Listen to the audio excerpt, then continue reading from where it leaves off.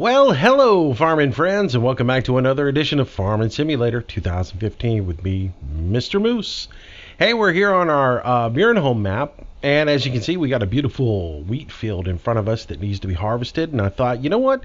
This is a great opportunity for us to continue on our uh, little tutorials on courseplay because today we can cover combine mode and that's what we're going to do. We're going to harvest this field uh, using a combine and two tractors with some tippers that are located over here and uh, that way we can show you how to do that. So we're going to show you how to set it up and get it going and then we'll show you how to add a second tractor into the mix so that you can uh, continue to harvest without having to wait for your tractor to get back from the silo.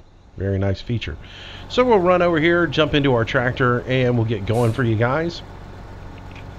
So let's go ahead and bring up course play, and we're going to be recording a course. I'm going to jump in here real quick. I have a pre-existing one from when I done this field before. I'm going to delete it so we can record over it.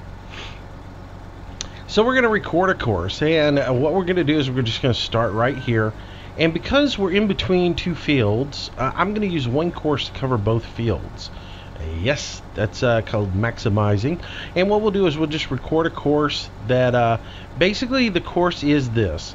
Your little tractor is going to go unload the combine, and when he's done and he's full, he's going to come to this course to lead him to the farm to dump all of our grain in the silo.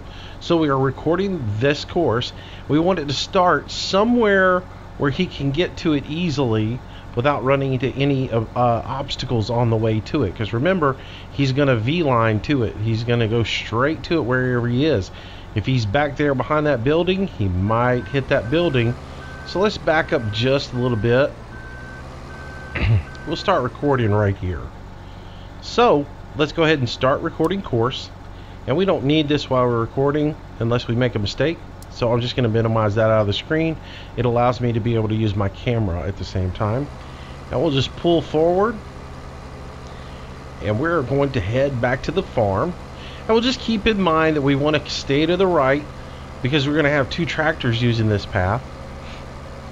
And if for some reason uh, they have to pass each other along the way, we want to make sure that the uh, that they won't run into each other.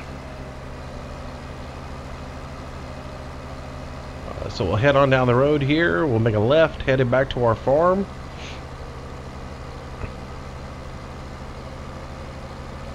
And we'll head on that way.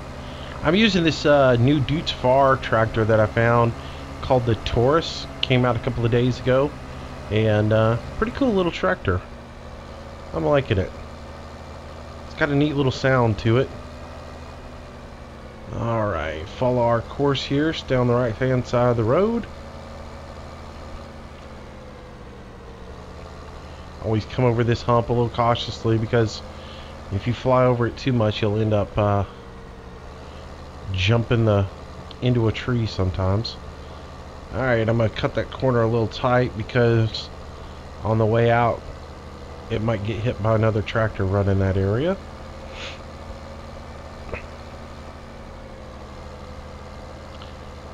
Alright, and we're going to come around the corner here.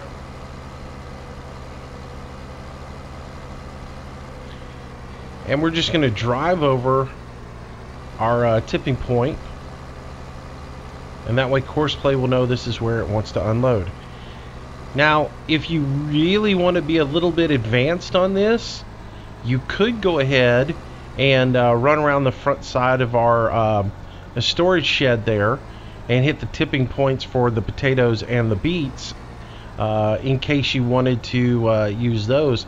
Now, particularly for this setup, I know I only use those fields to do grains, so I would in game only go over this one tipping point uh, because I'm only going to use it for grain. Now, if uh, the field over next to us uh, that I do potatoes in, uh, that might be a different story because I do a variety of fruit in that particular field, but I always do my potatoes in it because it is so close.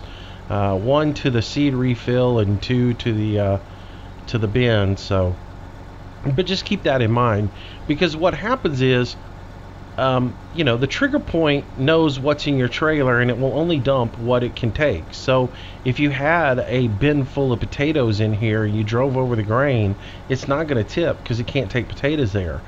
Then when you get around to the front and you hit the trigger point for beets, it's not going to take it there. It's going to take it where the potatoes are. And so you can set one course to hit all the tipping points and uh, and cover your bases. The only thing you need to do is make sure, like I said, uh, you stay away con- from conveyor belts uh, on your route.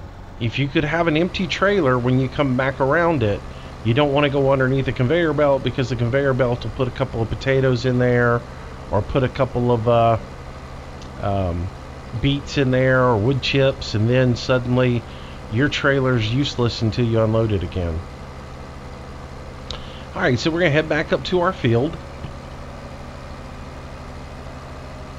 Stand to the right. Uh, again, so you're avoiding any conflict with any other vehicles that might be coming out of another field or, uh, or even one of the ones coming from the field that we're using right now.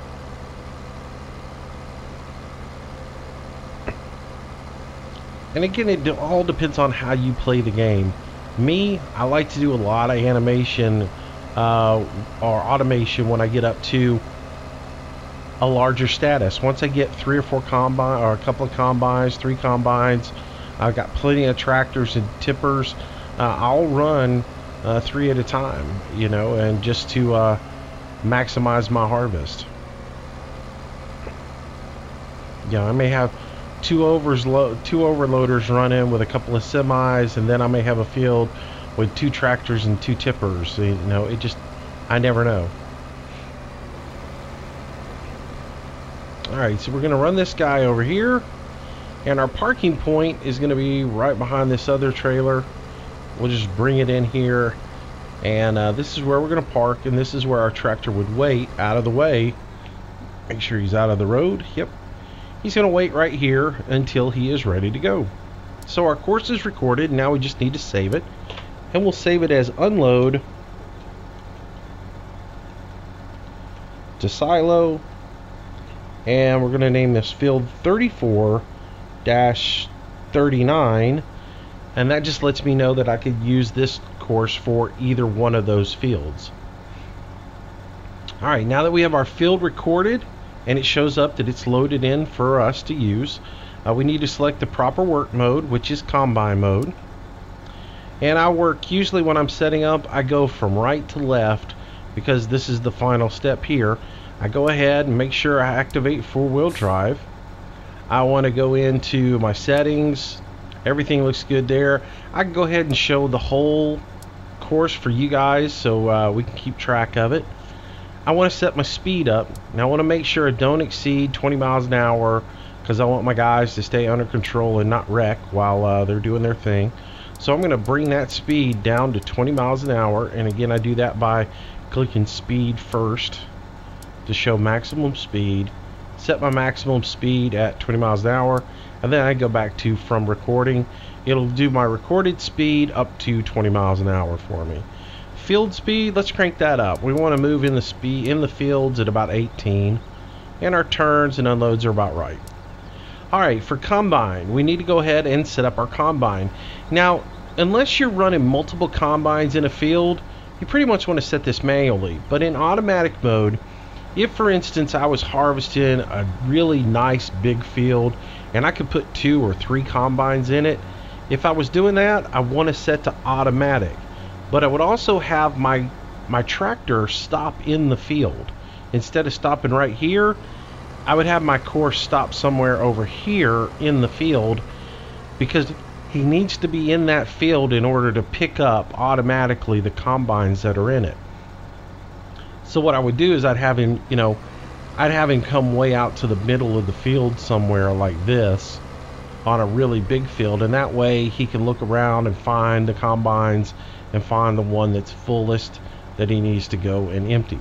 But for this purpose, we're just going to do manual mode and uh, we'll set ourselves up uh, to harvest this way. We're going to let our combine go back and forth between our two tractors. So we'll uh, we'll set ourselves up. I'm going to come back to our course here. And I'll set ourselves to manual mode and I'll select my New Holland tractor. Settings, everything's fine as far as the width and everything else like that. Start at point, I want it to go at 50% and I want it to drive to the grain silo when it reaches at least 90% full. And that's good. We've got our course loaded. All we have to do now is say drive course and it will do that. And it will go sit here at the stop sign until the combine tells him to come over. So at this point we need to go set up our combine and then we'll go set our second tractor up. So our combine is here. I already have a course loaded. I'm going to go ahead and set it to drive course. And it'll start doing its thing.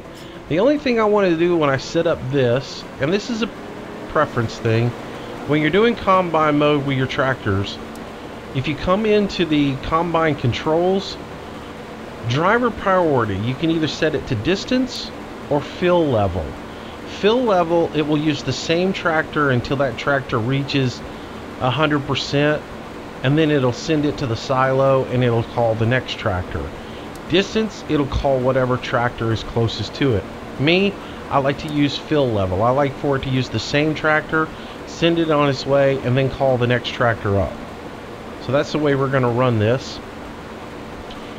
Uh, if you use it for distance, sometimes it'll get one, like if when it's running a headland, it'll get one tractor up here on the top of the course, then it'll get another one down on the back end of the field, and then when it starts doing its, uh, you know, crossing patterns, it'll only have one tractor close to it. It'll use that same tractor over, and meanwhile the other tractor's just sitting there half full of grain. So uh, that's the reason I like to use fill level. It'll use the same tractors over and over. Now, so our other guy is sitting up there. He's doing his thing. He's just waiting for this guy to hit 50%. And when it does hit 50%, it's going to call him over. And uh, he'll pull up and unload this uh, unload this combine. So we're 50%. You see it just triggered the Taurus runner and it called him over and he's going to head this way.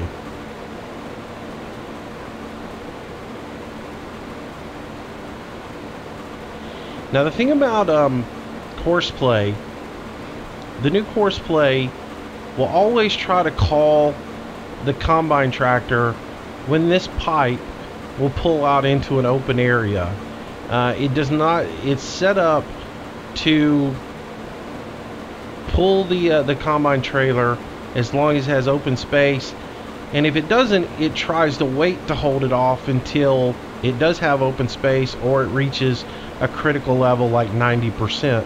So that's the reason on my tractors when I set them up, I set them up to 50%, roll roll at 50%, and that way it gives the combine an opportunity to either call them at 50% or if the pipe is out in the fruit at 50%, it gives them time to wait and maybe call them when it gets into an open area around 70 or 80%. If you set your call number really high, like 80%, you're going to end up getting called and your tractor's going to drive through the fruit a lot. So I just prefer to set it up that way. You can do it however you want. If it doesn't bother you about uh, the the fruit, you can set it for 90%. It won't come until the combine's almost completely full. So that tractor's doing its thing. And uh, when the combine is empty, it's just going to pull around back and stop it's uh, just going to veer off. It'll pull back into this lane of uh, of clean field, and it will hold up until the combine calls it again.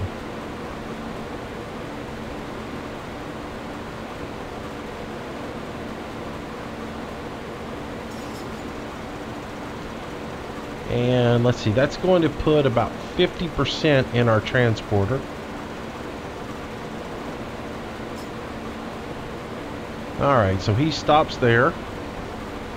And he'll wait until the combine's ready to fill, uh, unload again when he gets to 50%. While that's happening, we're going to go ahead and set up our second tractor. Uh, which is sitting here, which is in purple. I wanted to do some different colors on this tractor when I got out. Thought, man, that's going to be a that's going to be a hideous color. I've got to do it. But it is cool that uh, now you have a Deutz-Fahr. You can pick any color you want. Alright, so jump into course play.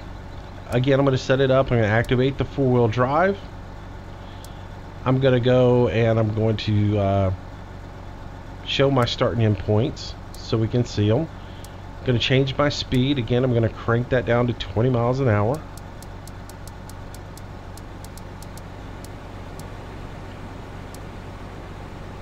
I'm going to crank up my field speed to 18. Alright. Uh, let's see. I need to uh, I need to go back into combine mode. I need to select my course that we're going to run, which is going to be the unload silo 3439. There we go. And I need to select my combine, which is going to be our New Holland. All my settings here are fine, 50% and we're good to run this course. So let's just pull over here. So he's underneath the return. And when I hit drive course he'll pick up the course. He's going to drive to that stopping point. And now he'll wait until the combine calls him. But that'll be when the orange tractor uh, finishes its unloading duties and um, and heads off to the silo so let's jump back into our silos, uh, into our combine. It's at 50%, so it should call the orange tractor to head on over.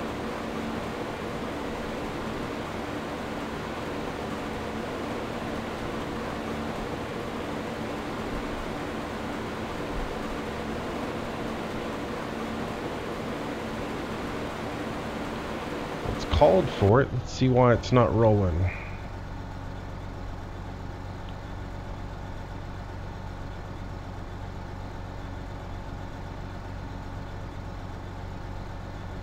There it goes.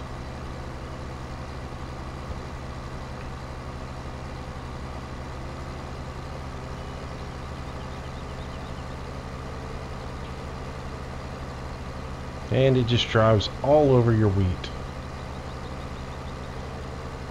It would be great if that was fixed in the game, but it is a game, right? It can't be completely real. So this guy's going to go over here and uh, by the time he gets to the combine and gets underneath him, combine's probably going to have enough to uh, to get us to a level that's just about right.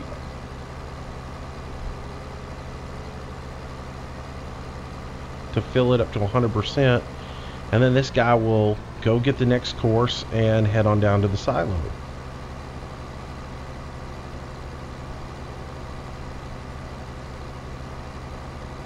So he's going to fill up.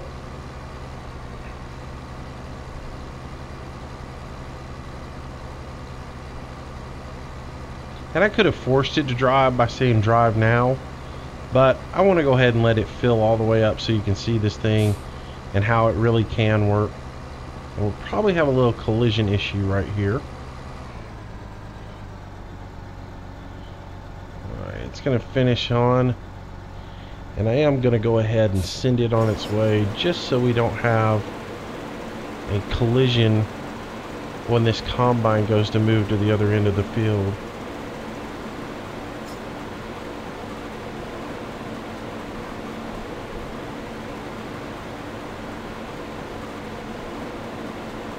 I'm going to send the driver on now. Alright, so he's been sent on. And the combine's going to hit the building here, so I'm going to have to attend to it real quick.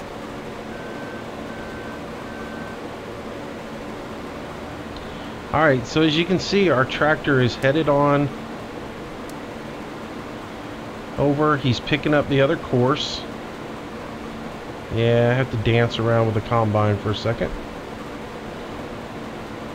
But he's picking up his course, and as soon as he does, he will be on his way to the silo. And I'm going to restart this guy on his path that he needs to be on.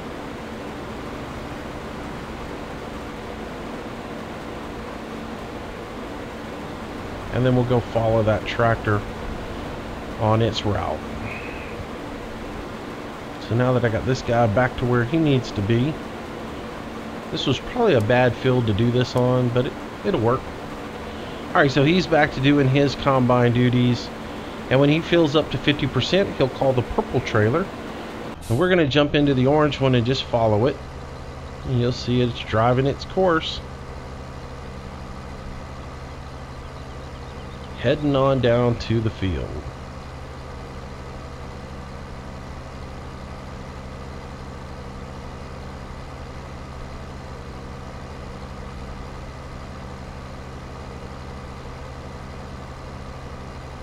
And sometimes you don't need to do two tractors in combine mode. You can do it with one. But if you're traveling, like if your tractor's got to drive a long distance uh, from the field back to the silo, it's good to use two tractors. Look at that. This thing's got beacons on the fenders, beacons in the front, beacons on the top. Fancy little mod. Beacons on the mud flaps.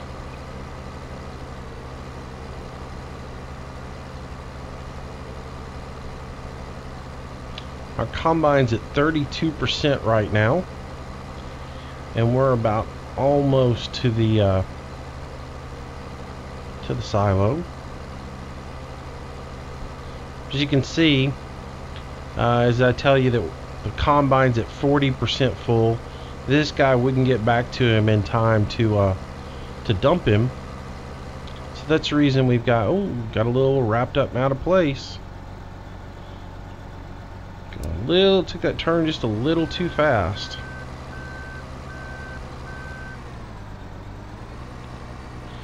Again, that's the reason I dragged my speeds down. Shouldn't have really had an issue there, but maybe I need to turn that down a little bit more. Alright, so he's going to hit here. And he's going to dump as soon as he hits the trigger. Alright, and while he's doing that, we're going to go over here to our purple tractor, who is sitting in standby.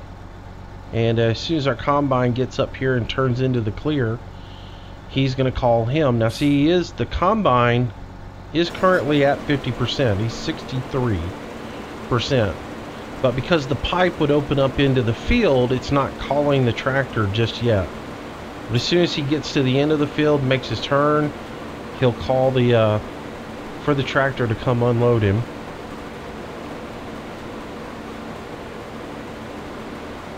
So if you have a situation where you see the combine gets to the trigger point, you're like, oh, well, he didn't call my tractor. It's because he's waiting to get in the clear. Now that only works if you're using courseplay. If you're using a hireable or something, it's going to act a little bit different. So see, he's up to 82%. He's starting to get to a critical level. But we're going to go ahead and make it to the end of the field. He'll make his turn. And then he'll call the tractor to come unload him.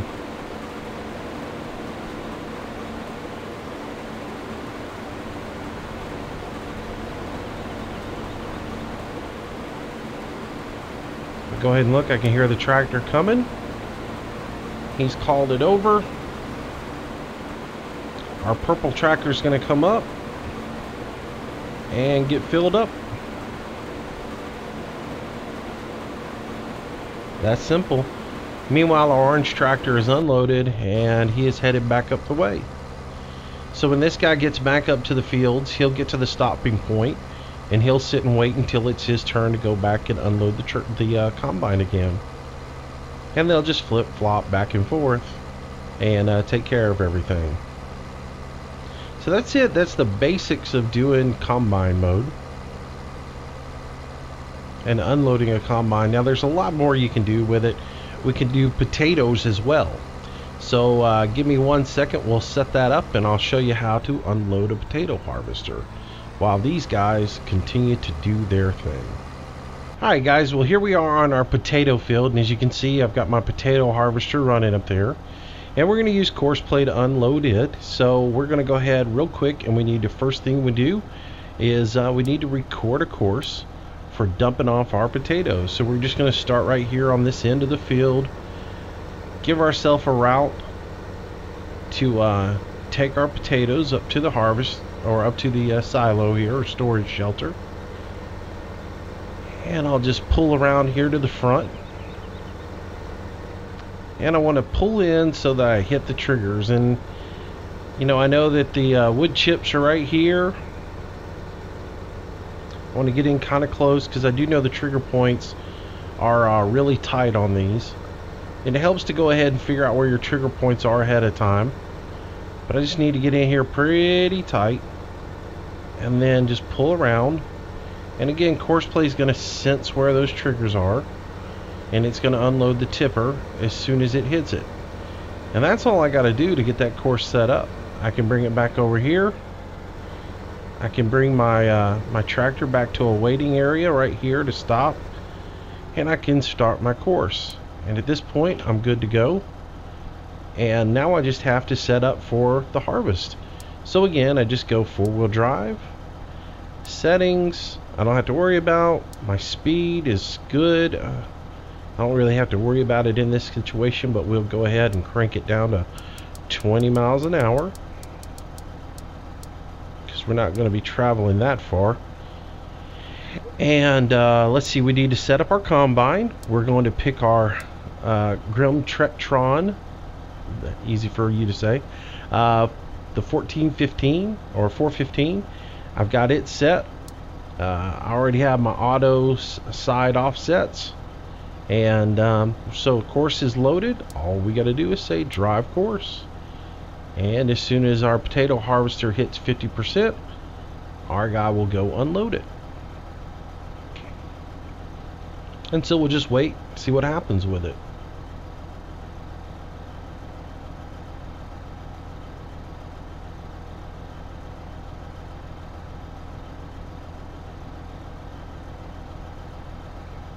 Probably going to get a little potato here dropped on us because we are sitting pretty close to the field, but maybe not.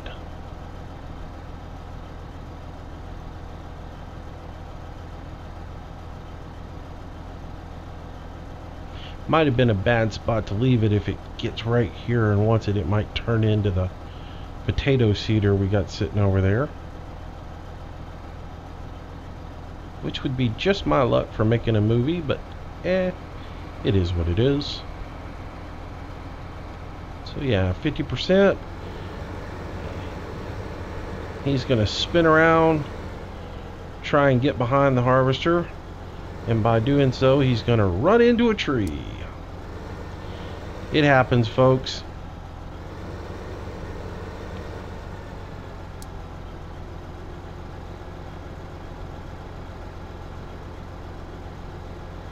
It happens. It'll take time to figure out right where you want your courses to be and how you want to set everything up. And especially you have to massage them a little bit right at the very first of the harvest. Because uh, you can't think of everything. And I have to be honest, it's been quite a while since I played this particular field. And uh, I don't quite remember all the little hiccups I had with it as far as what buildings it would run into and trees it would run into. Alright, so he's going to run over here. And again, Courseplay has set our offset to negative 6 uh, to bring us down the right side because all that is pre-programmed. He's just going to drive underneath our potato harvester and grab the potatoes.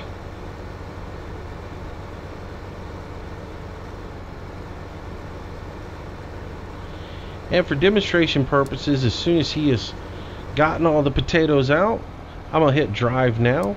And that will tell him to drive the course. Not to run into the uh, combine. Drive course and he is going to go ahead and run back up to the top of the field. He'll pick up the course and he'll take that over and dump the potatoes underneath our shed there.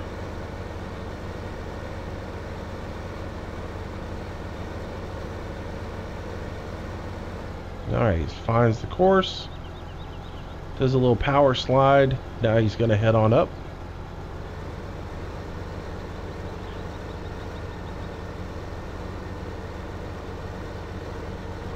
You see our little Taurus dumping off some grain.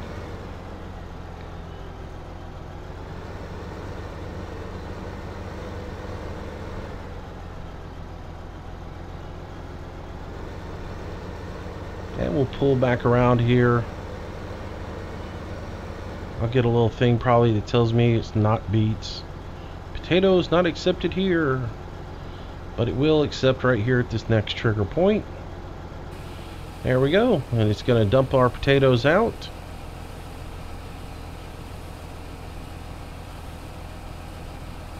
And we're good to go. It will now take its empty trailer right back to our waiting point, and as soon as our harvest hits 50%, it will go unloaded again. So there you go guys, a couple of examples of how to use combi mode inside of Courseplay and how to set that up. Hope you guys enjoyed the tutorial uh, and found it a little bit helpful. If you have any questions, please leave comments in the video. I'll be happy to get back and answer you. If you enjoyed the video, make sure you give me a likes up. And as always, subscribe to the channel if you want to see more videos. I'm Mr. Moose. I thank you for watching. And remember, I do put new videos up every day. So come on back for more Farming Sim 2015 videos. Until next time, as always, stay safe have a great day, and I'll see you tomorrow. Bye bye. Hey, thanks again for watching this video, and if you made it all the way to the end, well, maybe you liked it. So give me a big old thumbs up. That like goes a long way. Also, subscribe to this channel. I will update the videos every single day, so there'll always be something new for you to see. I hope you enjoyed it, and I hope you'll come back again tomorrow. Thanks for your support.